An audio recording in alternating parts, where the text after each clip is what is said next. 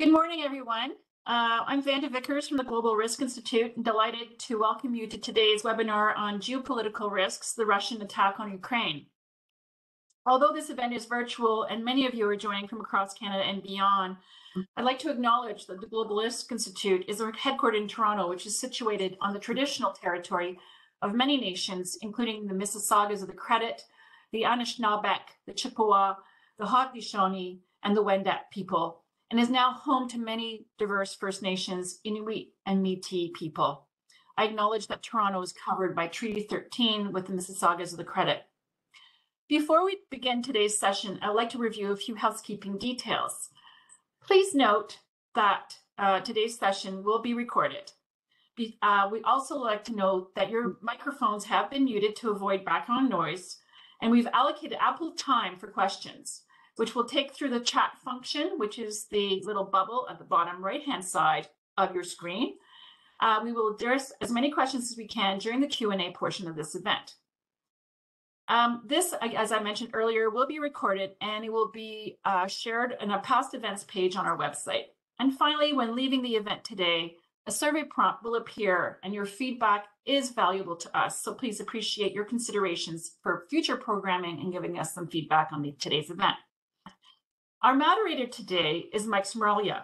Mike's an executive in residence at the Global Risk Institute, and we are honored to have Janice Stein as our guest speaker.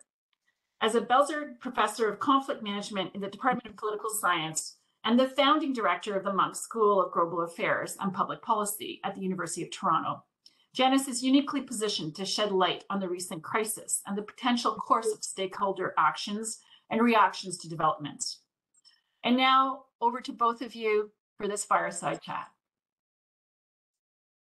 Thank you, Amanda, and good morning, Janice, and everybody on the call. Just before we start, on behalf of Janice and all of us at GRI, we'd like to acknowledge the immense suffering that the brave people of Ukraine have been enduring over the last month. They're demonstrating extraordinary courage in the face of extreme hardship. I know all of us on this call are joined in the hope that this conflict can come to a peaceful end just as quickly as possible. Janice, not surprisingly, the first question I'd like to kick things off with has to do with risk management, which is very much at the heart of decision making in the geopolitical arena. And we know that effective risk management relies on good risk assessments. However, there seems to be a long and storied history of significantly flawed geopolitical risk assessments, and this conflict is certainly no exception. Russia seems to have underestimated the extraordinary resiliency of the Ukrainian leadership and the people, They've underestimated the West's resolve to swiftly impose sweeping economic sanctions, and they appear to have overestimated the effectiveness of their military capability on the ground. For their part, NATO has clearly underestimated Russia's willingness to launch a full scale invasion of Ukraine, despite witnessing months of military buildup. So, what is it about geopolitical risk that makes it so notoriously hard to accurately assess? Um, good morning, Mike. And that is a great question uh, because, as you say, good risk assessment is at the heart of every successful strategy. It doesn't matter uh, which domain you're working in. Let me just point to one very successful risk assessment in all of this, which is surprising uh, to many of us given the track record. But US intelligence got this almost 100% right and shared that intelligence estimates with experts around the world before the war started. So there's a whole subsection of questions here about why experts discounted uh, these very explicit warnings that we were getting from US intelligence about what the Russian invasion would look like. They really, um, and it is worth pausing over for a minute, they got this almost letter perfect, frankly. What's the more generic problem uh, that you're putting on the table? And I know this is baked into the DNA of the Global Risk Institute, but to do good risk assessments, you need to know something about the underlying probabilities. So let's put a problem on the table right now for everybody on this call. Um, NATO uh, in two days will begin an unprecedented discussion about how it will respond to the use of a the possible use, let me put it that way, possible use of a tactical nuclear weapon uh, by Russia in the in, in the war. Well, we don't have any probability assessments. It's never been done before. So we are in the world not even of Nassim Taleb's black swan, because for Nassim, those are events that occur, occur way out in the tails of the probability distribution, but we've still got some probabilities. We are in a very different world here, which is the world of uncertainty. Uh, now, um, there are parallels in, in economic policy and in business decisions where leaders find themselves in a world of uncertainty where there's just not enough uh, trials that preceded to construct any kind of even rough approximate probability distribution. So how do we handle this? Well, there is just a ton of work that tells us what we do. We fool ourselves. we don't acknowledge we're in the world of uncertainty and we start using words like how likely is this to happen? And it is it requires a tremendous amount of self-discipline. I'm in that position a lot when uh, a policymaker will ask me how likely is this to happen? And i give the career limiting answer i don't know what what i really mean is there's just no we don't have any useful background data here that can enable us to improve um, our assessments um, one of the things we do do, and uh, we might, hopefully, we might have a chance to talk about this a little later, is we build scenarios on what might happen. And it's really important to do that when you're in a world of uncertainty. You build scenarios, but um, we have to be very careful, especially when we give advice um, to our government. We don't know which scenario is more likely, which is so is possible. And, and NATO, to make this really concrete in Brussels on Thursday, is going to spend a fair amount of time discussing a scenario for which they have zero background probability distribution I can't attach any meaningful likelihoods. Uh, well, given that that backdrop. And I want to make I want to make it worse for all the decision makers in the room. you have to make these kinds of strategic. Let me just make it worse. So when you're trying to think about whether the scenario might happen or not, we use logic, right? That's how we argue it out. But here's the challenge: the logic that NATO is going to use is different from the logic that Putin is going to use. So ultimately, the only the best that we can do is try to get inside the thinking of the other decision maker on the other side. But that's that's an art rather than a science. Interesting. Uh, given that backdrop janice and that that poor track record is there a next potential failed risk assessment that particularly concerns you on on you know, from, from any participant in this process. Yeah, I, I, think there is, and um, it's the one I just talked about.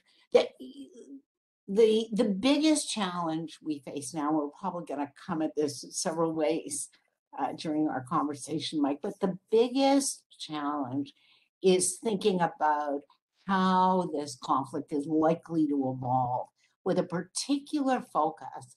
How is it likely to escalate? because what we're really seeing, if I had to summarize these three weeks, um, Putin has made his objectives clear now, and events on the battlefield um, are not thus far uh, enabling him to, to achieve his larger strategic objectives. It has gone much more slowly, it is much more challenging, much more difficult. Uh, many more Russian military deaths than they anticipated. By the same token, President Biden, before this started, knowing it was coming because US intelligence was so good, put a ceiling on what the United States would do and what NATO allies would do. And the goal here is avoid any escalation to a direct all out conflict with Russia. That's the frame under which policymaking um, has occurred. And that's why to the frustration of many in the Western world who are outraged, outraged by what they're seeing and beginning to put terrific pressure on our decision makers as a result, a no-fly zone was taken off the table because that risk assessment was, now look again, we're using the word risk. You know, we shouldn't because we're in a world of uncertainty. But the sense was this is to, we could map out the scenarios here where in a no fly zone, which involves, by the way, taking out anti aircraft batteries on Russian territory. So you would have had to attack on Russian soil. And then if a Russian aircraft took off, you would have had to shoot it out of the sky. The argument was no, off the table because this takes us too close to an all out war with Russia. And that is the defining objective of US and NATO strategy right now. Help Ukraine in any way possible, short of escalating to all out war. Now, we design our strategy to do that. But here's, I think, the biggest challenge. What if President Putin escalates? Um, and he could in many, many ways. When he when his army did poorly on the ground, they moved to these massive um, artillery bombardments on cities, which we're seeing, which is frankly laying Ukrainian cities to waste. We, we, we, they are reducing Ukrainian cities to rubble, something that we never imagined we would see in Europe again. Um, this is close to saturation bombing. That's what we're seeing. But he has other options, right?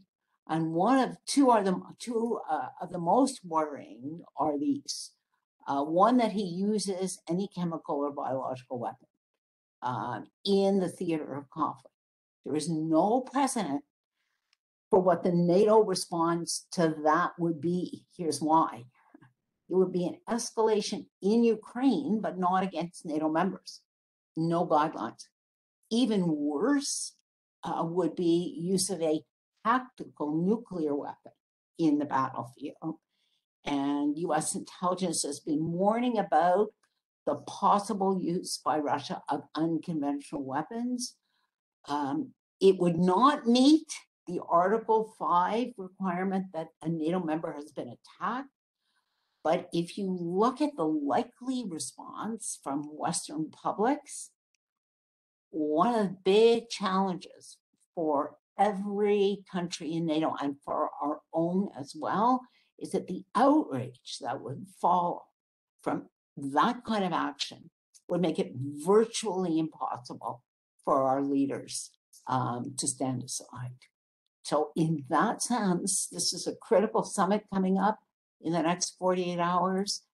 And they are in uncharted territory with very little other than what we talked about at the beginning logic and the best available understanding they have of Putin, which is by definition limited, since they have no access to.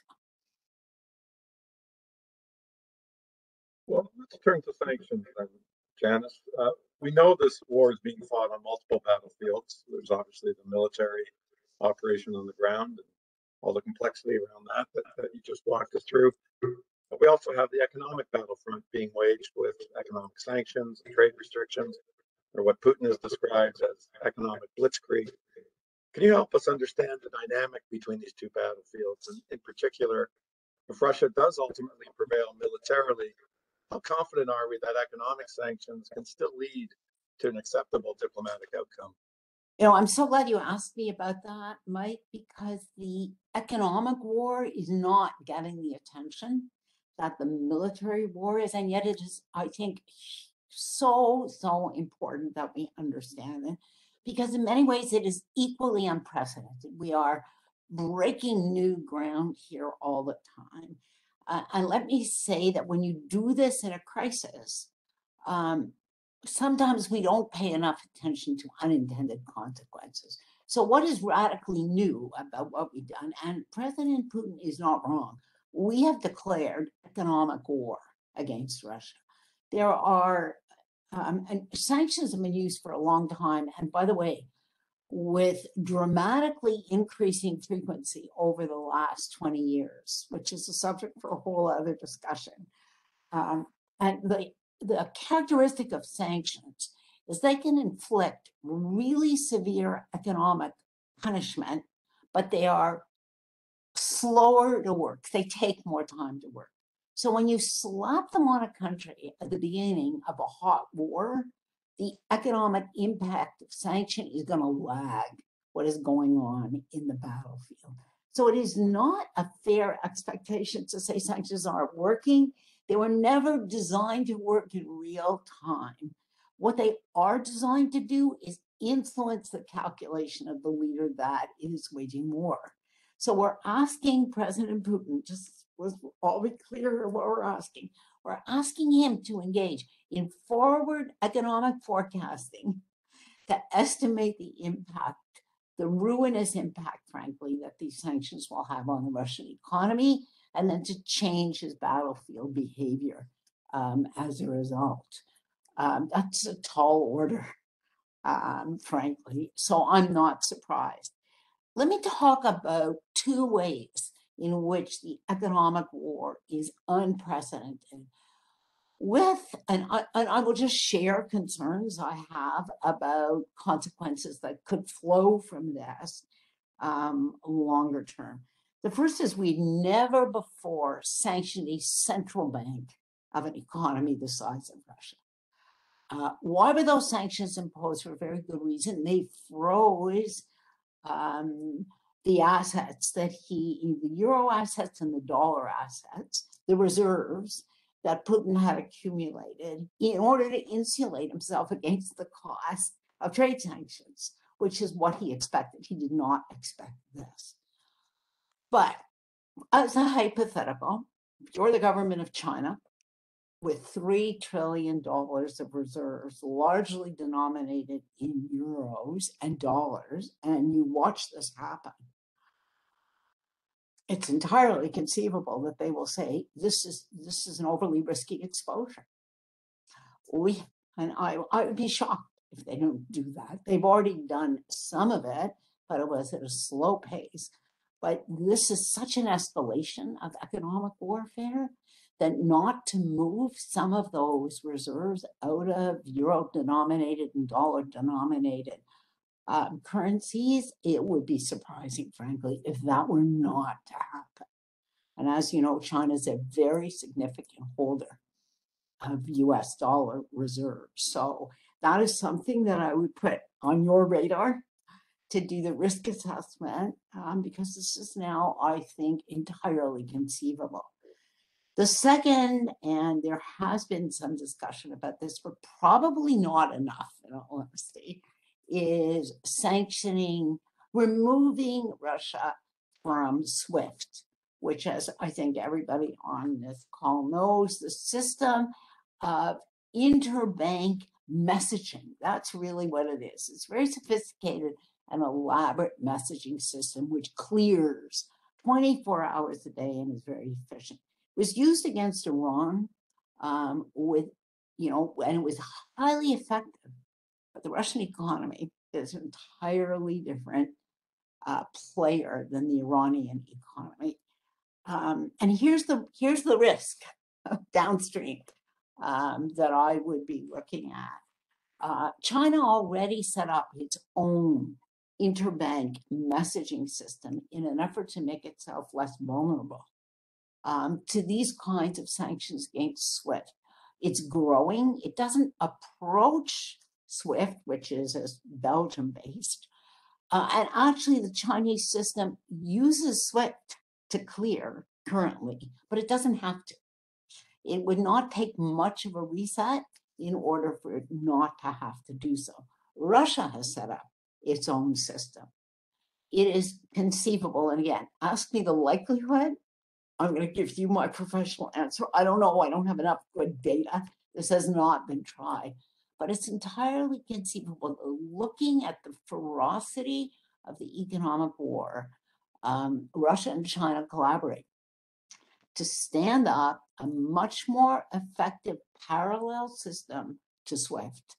And if we're looking at scenarios 10 years from now, it's not hard to imagine two global systems, each operating in different parts of the world with all the transaction costs that that would imply. You know, in my world, we work on these kinds of problems, and what we've done here is weaponize um, the international financial payment system. We've turned it into a weapon, not for the first time, but never at this level. And if you do that, there is an inevitable counter reaction to it as other countries recognize their vulnerabilities. Well, I think a good lead in to the whole issue of, of global trade. Um, and so we recognize that this crisis represents the third major blow to globalization in recent years. The other two obviously being the US China trade wars and COVID. Is the world then facing a fundamental reevaluation of global trade and supply chains and and how will global trade you know be restructured if so? Um, I've been arguing that we are um, for several years now, even before this. And what do I look at, Mike, to come to that kind of judgment? Uh, I really look at the consistent drop, more or less, and certainly lack of growth might be the better way to put it in global trade as an overall proportion of the global economy uh, with one big exception. So the more accurate way of describing this is we've seen a downturn in growth of global trade in goods and services. That actually starts with the global financial crisis, which was the prior big shock um, in 2007. And it's a secular trend. You know, it stabilizes for a bit, but it's been going down. The big exception is this huge explosive growth in trade in digital products and services. So as the as the real has dropped, the virtual has shot through the roof. Um, when you sanction trade the way we have, the dislocations in the global market and in global supply chains. Uh, let me talk about two, um, which I think many of you are aware of, but just to trace these two very quickly, wheat, right?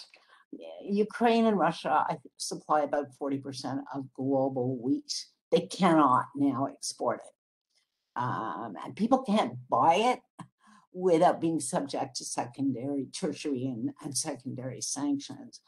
Um, uh, the consequences for the Middle East are, and Africa are just disastrous. Uh, so it's not only about the exports of Russia; it's about the dislocation that's going to happen in other part of the in other parts of the world. Uh, we can trace a very strong relationship between increasing the price of wheat in the Middle East and street riots, which lead to either in one or two cases overthrow of the regime or really severe repression when this happens in dislocation. Um, that's a predictable, frankly. I, I, I mean, I, I'm so confident that that will happen. Um, is it an opportunity for Canada to export more wheat into the global market? In theory, yes. In practice, no, because right now our wheat supplies are tight. But all those supply chains that connected the Russian export of wheat through three continents are now blocked, frankly. Fertilizer, something very real, very, very concrete. Russia is a very large exporter of fertilizer. So look at the layering on impact on food security and crop growth around the world. Um, that is going to ripple through every supply chain that we know. And just to make life uh, even more challenging, we have, for the first time in China, a rapid spread of COVID, Omicron, which is shutting down major cities um, and blocking supply chains. So we are in a process, there's no question, of reconfiguring supply chains. I would be astounded if our economic decision makers are not doing a hard look. Where are we in these global supply chains? Are there workarounds for this? And when we put in place workarounds, we don't revert back as quickly. There is a lag effect always. I can't imagine, frankly, people going back um, to Russia. I mean, this is as a reliable um, supplier for a long time, given what's happened. I, I, I should just add, um, Mike, this has to be one of the Russia's decision, Putin's decision, has to be one of the greatest strategic errors made by a leader of a developed economy. It is catastrophic for Russia. We talk as we should a great deal about Ukraine, but this is a catastrophic decision for Russia, which is going to cripple its economy and drag this country back 20 or 30 years. You know, leadership matters, strategy matters, and decision making matters. Well, just to, just to pick up on that theme, then, another set of stakeholders that, that we've seen kind of weighing in have been private corporations, and, and we've seen a massive wave of private corporations going beyond the legally required sanctions and suspending or even completely withdrawing their business uh, from the from the Russian market. Is this just kind of short-term reputation risk management, or does it indeed reflect sort of a more fundamental, you know, reevaluation of commercial risk-return trade-offs? You know, I think it's um, I think it's more the latter than the former. Um, what speaks to the former issue of reputation management and risk management um, in the immediate sense uh, was, I think, um, the evaluation by many uh, public facing companies who serve consumers that there was just huge reputational damage from continuing to be there. And so the Starbucks, the McDonald's, that are largely public facing companies left um, at an astonishingly fast rate. Uh, but I think there is a longer term perspective underlying that because when you sanction trade and you sanction banks and you sanction fundamentally currency exchange, the ruble is now a non convertible currency as a result of this. And you have companies that are headquarters in Western Europe or the United States that are doing that are transacting business in rubles, you can well understand why their CEOs would say um, the risk is not worth the return of the consumer market. I think uh, it's a, again, it's a very interesting bellwether because I think what we all need to do is not look only at this event, but what are the unintended consequences down the road does this set the bar then, Mike, for every time there's a, a conflict that we think um, is unjustified, whether it's an un, you know, unjustified attack against the civilian population? Is the expectation now that banks, companies, consumer facing companies remove themselves and leave because the reputational damage is too high? So what's the bigger picture you and I are painting here? Where here's the worst possible outcome of all of this, which was had been possible five years ago, but now I think is is squarely on the radar screen. We're talking about, and there's one one exit from this. We'll come to that, I'm sure. But we're talking about a divided global economy, a divided global trading system, a divided global financial system, uh, where the costs of trade, it's not that it's impossible, but that the costs of trading across that divide just grow and have implications for what's efficient to do. I guess everyone pays the price when, when that happens. Right? So there is certainly blowback and broader, broader collateral damage from from sanctions Yeah. in terms of uh, how it Yeah. impacts you know all, all, the, all the economies. Yeah. Um, well, and you you've referenced China a couple times in, in your remarks, and, and you know we, we saw the you know no, no limits declaration in the weeks you know before the the Russian invasion. You know clearly the relationship between China and Russia is continuing to strengthen on on many levels. Just how far is China prepared to go in its support for Russia? how might the West respond? You know, that is a really central question to what everybody is thinking about right now, uh, Mike. And let's just stop for a minute and say, where are we in the world that the country that NATO is looking at and Moscow is looking at is China? Does that tell us something about the world we're moving into? How important China will be in that world and frankly how important it is to keep lines open and connections going to a country that is so important. Um, there have been extensive conversations between the Biden administration and the Xi Jinping administration on multiple levels, not only the highly public telephone calls between the two presidents, um, and Russia is, uh, China is a linchpin here. Uh, it is the largest buyer of Russian oil and gas, and it's contracted. Uh, it they do business in renminbis and not in dollars, and that was very deliberate to insulate themselves from the kind of thing that we actually see happening now. Vladimir Putin is totally dependent on Xi Jinping for an economic rescue. Uh, that is his lifeline economically. There's no question about it. Uh, and regardless of the, you know, the, the, the discussions of long lasting friendship, there is, there is in China, uh, and, and there's politics in China. Let me add this.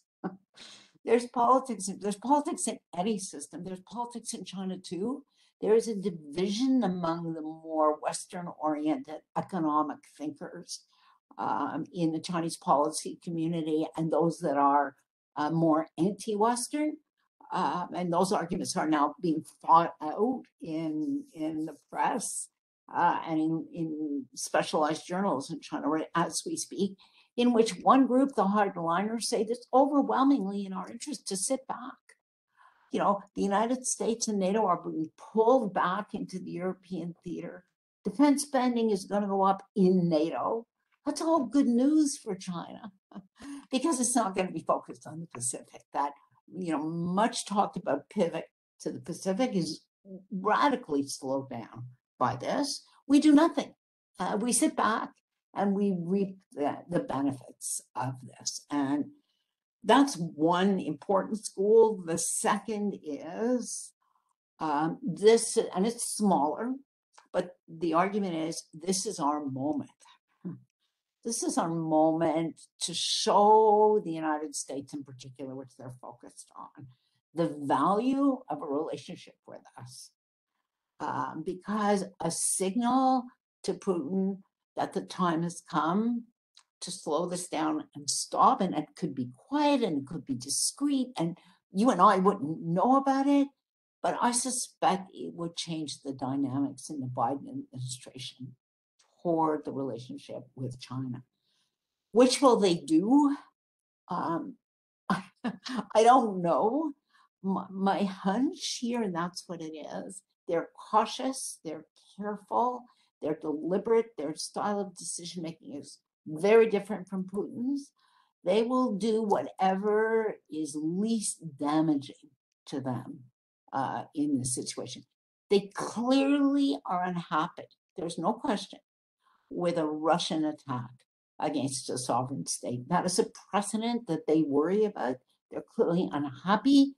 But frankly, the least risky strategy for them right now, there's not much upside but the least risky strategy for them is just to do nothing while everybody asks them to do something.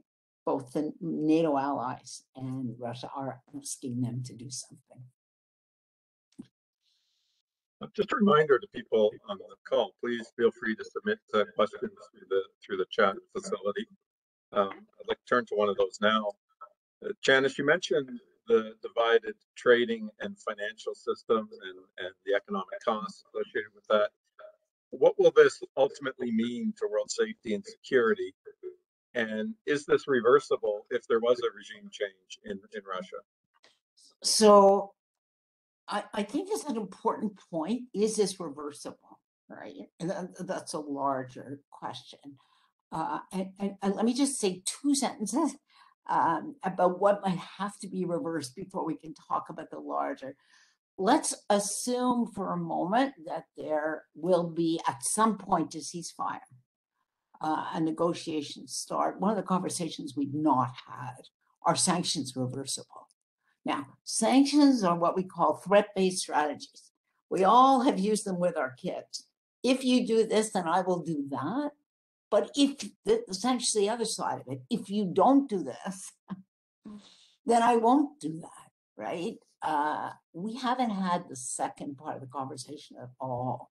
We haven't put yet, for good reason, but we haven't done it incentives on the table to Putin to say, if this war stops before two more cities are leveled, we here's a plan for how we reverse these sanctions.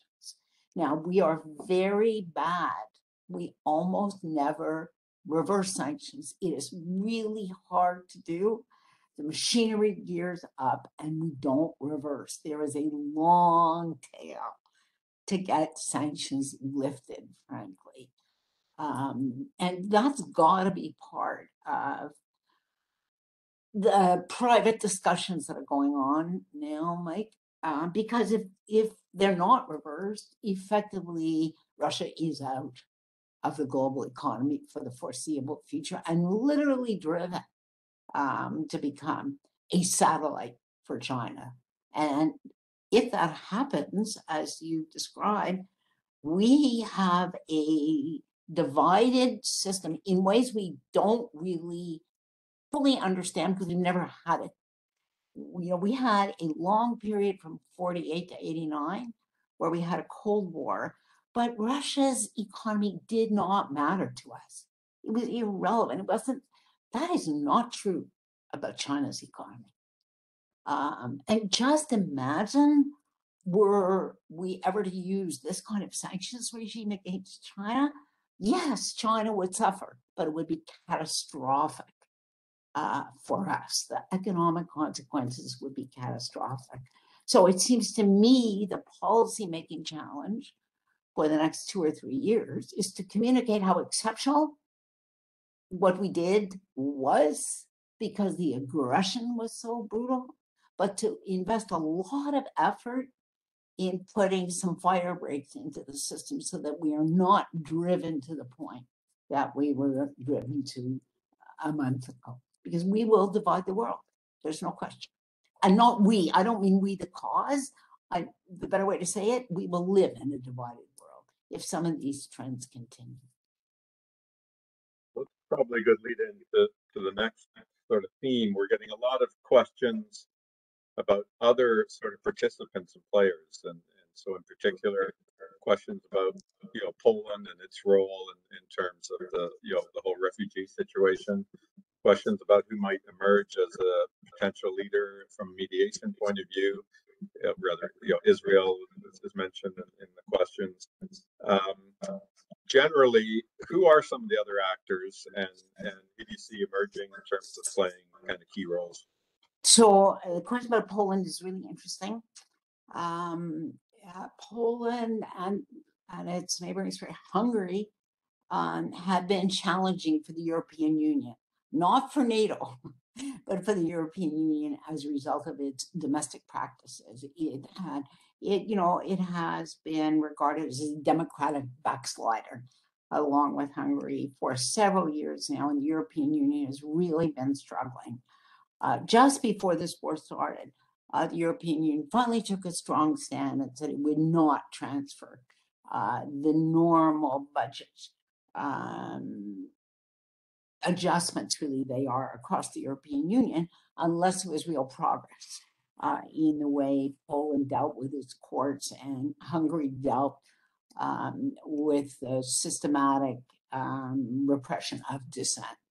This invasion happened off the table, off the table. And you see a unification of NATO that we have not seen since the 1950s when the Soviet threat was very real to people. Uh, you know, Poland, Hungary, Lithuania, Latvia, Estonia, they are terrified right now. I've had the opportunity um, to meet with some of their scholars and leaders, and, and there's a level of apprehension, Mike, that is difficult to convey to Canadians uh, who, uh, you know, are we are far away and removed and don't feel it. Now, how? So one big question. One of the reasons Biden is going to the summit. How long does this unity last? We saw the prime ministers of Poland, um, the Czech Republic, and Slovenia actually take a train to Kiev. You can't imagine a stronger act of solidarity than that because a train you know, is such a risky way to travel. Um, and I'm sure Russian intelligence knew they were doing it. So that is a strong statement of solidarity. But understand what that means. They want NATO to do more. there are other NATO members who are saying, no, we cannot do more than we are doing, or not much more. We stay under that threshold. We cannot become a combatant and we cannot provide more than defensive weapons. So we're already seeing some cracks in NATO, and it is the job of the President of the United States um, to manage to keep this tough coalition together. Um, it's always easy to do at the beginning of a war, much harder as we go along. So that's a big part. The second question who are potential interveners here? So the bottom line people who have a decent relationship with Poland, with Russia. And that's why I, um, and, you know, and I've taken some criticism over the years, and that's okay. Goes with the territories, but I believe in engagement strategies and keeping lines open because one, you can't do any risk assessment if you've walled off people and know nothing about them. And secondly, in times of crisis, that's what you need. So who's risen to the top of the pile now? Countries that have good relationships with both Ukraine and Russia. And the duo here are Israel and Turkey, uh, both of whom have good relationships with both those countries and are ongoing, uh, making ongoing and continuing efforts um, to get a ceasefire and the beginnings of a political negotiation going. And I should say to everybody, those are closely coordinated with the White House. There's no rogue mediators operating here. Uh, this the the obvious one here is Xi Jinping.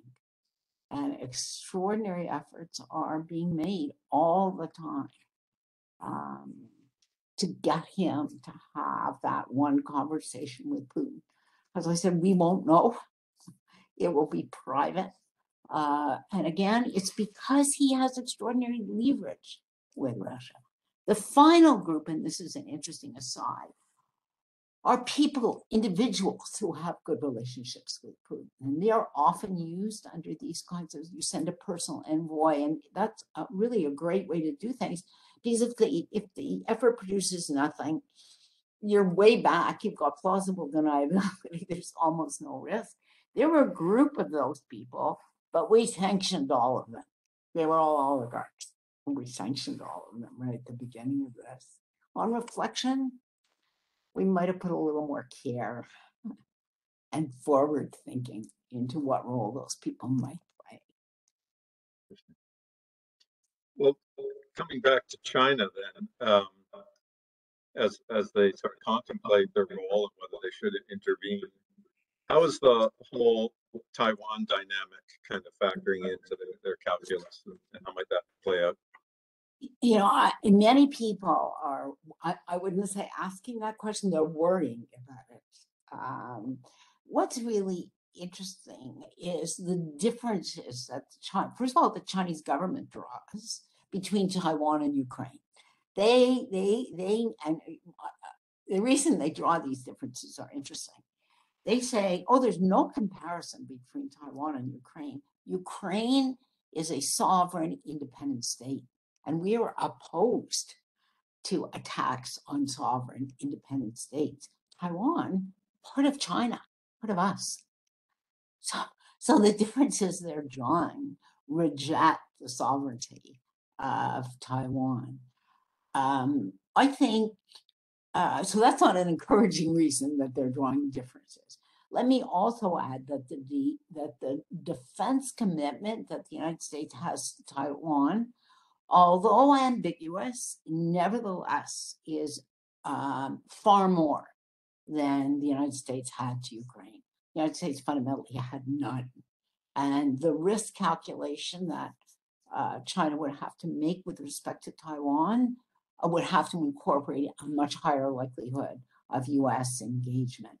I actually think, and here we're in the realm of speculation. I, always- I try to distinguish what I know and what I speculate on.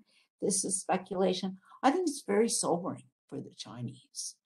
Uh, the willingness of the United States and other NATO allies to pay real economic costs. Because we've talked about the disaster that is going to overwhelm the Russian economy, but we are going to pay. There is a premium for what we're doing in wheat, in gas, in oil, in fertilizer, in inflation. This is just a jolt. Um, our banks, our central banks were struggling anyway to control inflation. This just jolts it upward. There's no question. These are these are real supply shocks, um, which can cause inflation. We get inflation from demand and from supply. This is on the supply side. I think the Chinese are looking at this and they're as surprised as Putin by what the United States and NATO has done and the cost that they're willing to pay um, is clearly not risk free. Um, they cannot assume that it is risk free. Now, that will have no impact uh, uh, on their uh, determination that Taiwan is part of China. That's been true ever since Nixon first went to China. There's never been any movement on that, but you calculate the risks um, depending on the conditions. I think this is sobering. Uh, So I think it's less likely now than it might have been two months ago, is what I'm saying. And I don't think um, China's military is pushing for this right now because it needs more time. Which is everything we hear from our from China experts.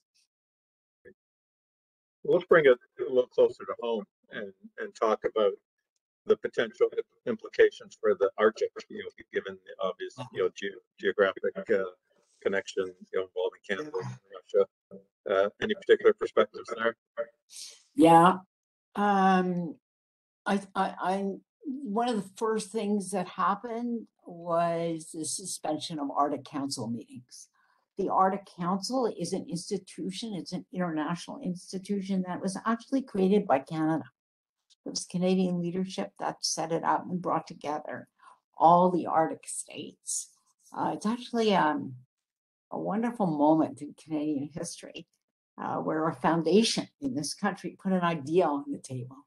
And our government took it up and created an institution which has become the most valuable institution, the Arctic Council, for shaping Arctic policy. Russia's our neighbor in the Arctic. That is the one place that Canada and Russia share borders, which is in the Arctic. And we have extensive collaboration with Russia on Arctic issues from stuff um, that is as practical and grounded as search and rescue. Uh, when we lose people or they lose people, we have very collaborative search and rescue missions that we run together. To uh, climate change, which is a huge issue in the Arctic, where climate change moved more quickly than it has in the more southern parts of Canada to all sorts of issues around energy, resources, safe passage. There's just a, a large, large agenda of issues that we work on in the Arctic Council. It's all now frozen and it's frozen Russia out. Um, let me give another example. So this is all by way of saying that there are a set of global issues on which Russia will have to be engaged because they're too important. I'll give you one that is playing out right now in the world uh, the renewal of the agreement with Iran on limiting its nuclear forces. You all remember Obama negotiated that agreement. Trump walked away from it when Biden came back. One of his priorities. The administration literally got to the signing when this war started, and Russia said, okay, we're gonna walk back our support for this and we're gonna discourage Iran from signing this unless you tell us that when we um, trade with Iran, Iran is not going to be subject to secondary sanctions for doing so. Well, that put the United States, frankly, between a rock and a hard place. It really wants this agreement to keep a lid on nuclear proliferation um, in the Middle East. But you can well imagine how reluctant it is to exempt anybody from secondary sanctions from trading with Russia. They back down, the United States back down. So we cannot go forward in this world by thinking we can read China and Russia out of the big global issues on which we need collaboration. And we need to find ways of engaging with people that we actively dislike, like the Putin administration, who have committed brutal acts. Um, and, it, and the harder challenge, explaining to the public why do we do this?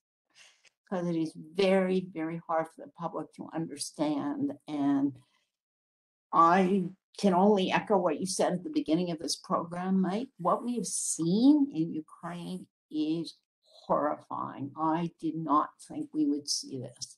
I mean, I last saw it in Syria, in the city of Aleppo, that the Russians razed.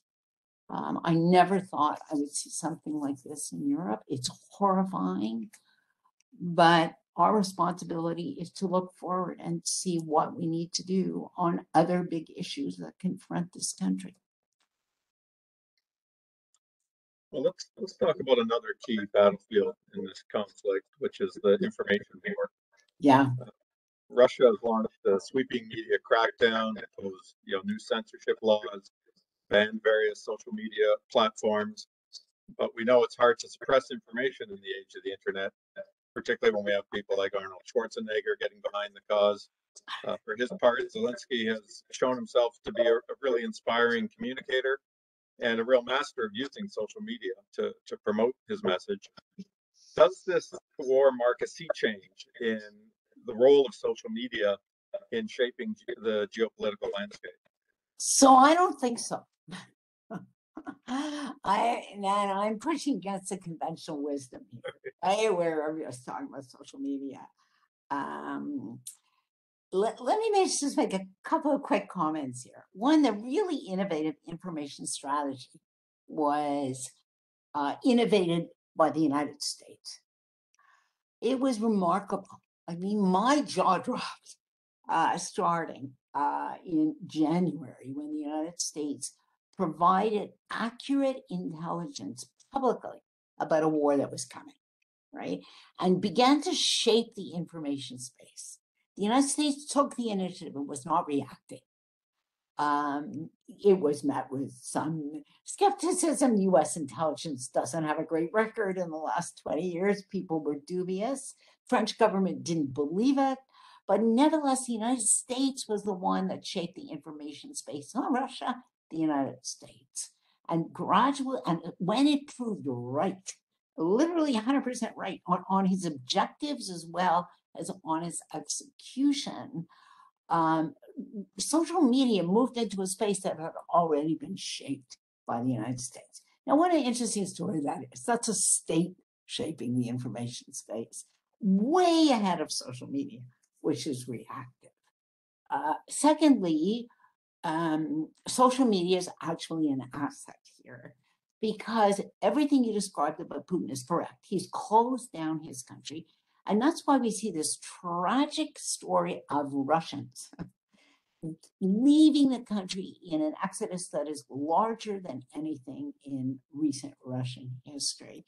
And who are these people that are leaving? And this is true about refugee populations generally. They're the most innovative, um, the best educated, the most resourced because they have the initiative to get up and go. They're confident enough. So you can leave Russia with 200 rubles in your pocket, which some people have, but be confident you're going to find a place and be able to find a way to support your family. And these are all what I call the westernizers in Russia.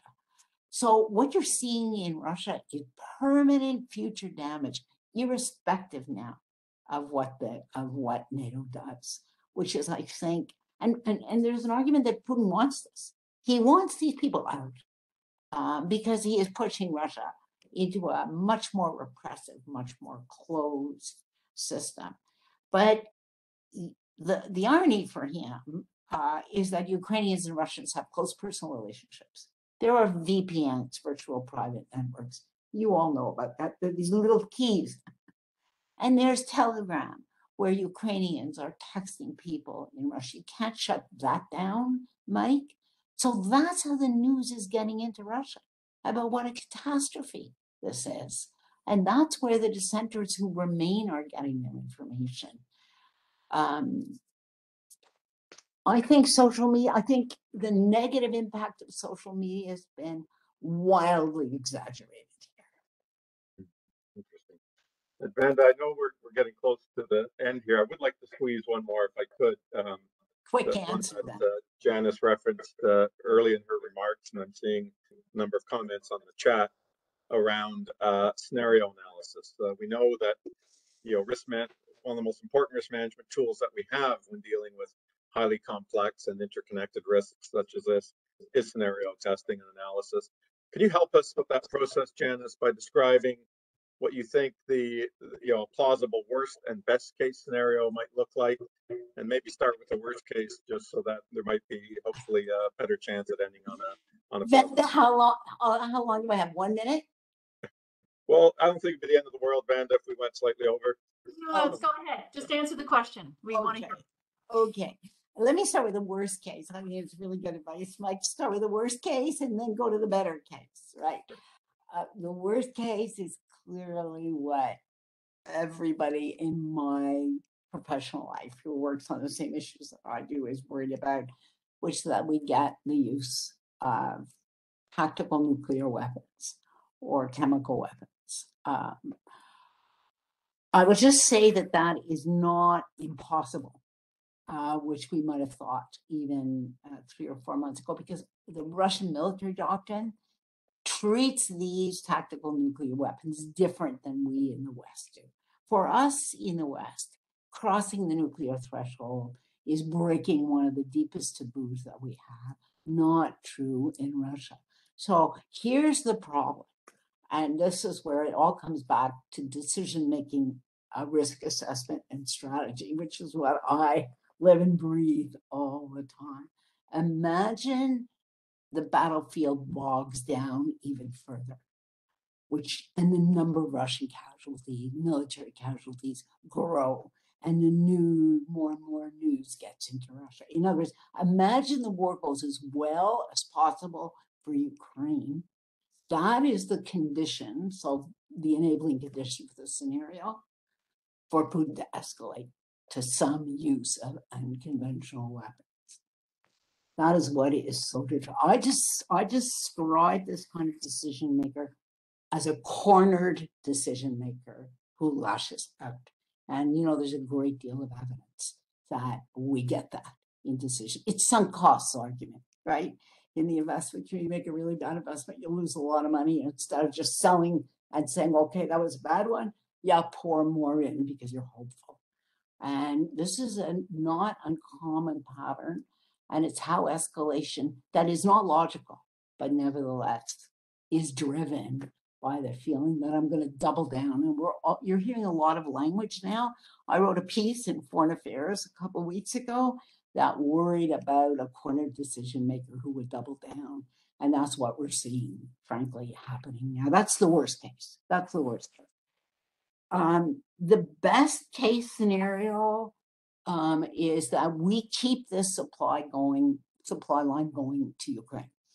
Uh, we are doing it's we are not talking much about this, but it's amazing what we what NATO has done, equivalent to the Berlin airlift. We are flying in massive amounts of defensive weapons to Poland and Romania that are being offloaded and driven across the border. Um, we keep that going long enough um, for Putin to come to the decision that the gain is not worth the loss at this point.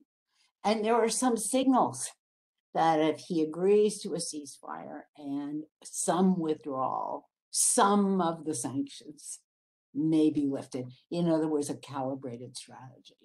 And it's going to require people with access to get that message to him. That is the best case scenario because, and this we do have good evidence for. All wars end when two conditions obtain.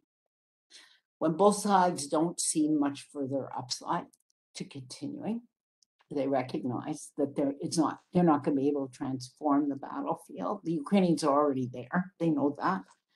Uh, and the second is when there's a framework available for them to signal what they might concede, but which doesn't implicate them until they think there's a likelihood of getting an agreement. So that's our that's the job of the world now to provide that framework and safe space for negotiation. Well, Janice, all sorts of follow-up, you know, thoughts and questions come to mind, but regrettably, we're at the end of our time. It's just flown by. I feel we've just sort of scraped the, the surface here. But on behalf of all of us, uh, thanks again, you know, very much for your, for your insights and, and the active, you know, uh, advancing of the narrative and in particular and, supporting GRI in that. Always insightful uh, thoughts and very much appreciate you taking the time. We look forward to to the next opportunity to uh, to engage with you. Um, with that, uh, Vanda, did you want to make some closing remarks? I think you're on mute. On mute. Thanks to both you and Janice, uh, and thank you. We've come to the end of our webinar. As uh, as Mike just said, uh, there's still a lot of questions to be answered. Uh, for those of you leaving, a prompt will appear. We need a post-webinar survey. I'll just remind you that's I did at the beginning. Uh, and thank you all for joining us this morning and remind you that there's a couple of macroeconomic sessions coming up, one on March 31st uh, and one on April 14th. And registrations for that can be found on our website. Uh, and I think those will prove to be very interesting sessions. Uh, so thanks, Jan Janice, again.